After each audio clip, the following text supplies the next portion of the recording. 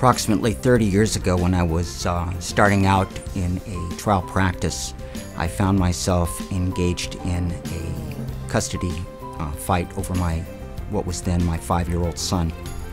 I was not something that I wanted, but it was something that I had uh, no alternative. I was told that if I didn't do something about trying to assert my my uh, my interest in my son's life, that my son would end up with a, a sense of abandonment.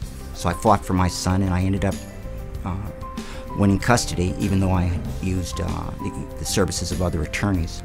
When it was over, my colleagues started sending me their own family law matters, and I told them that I didn't do family law, that it wasn't my practice, that I didn't know what I was doing, and they said, Oh, yes, you do.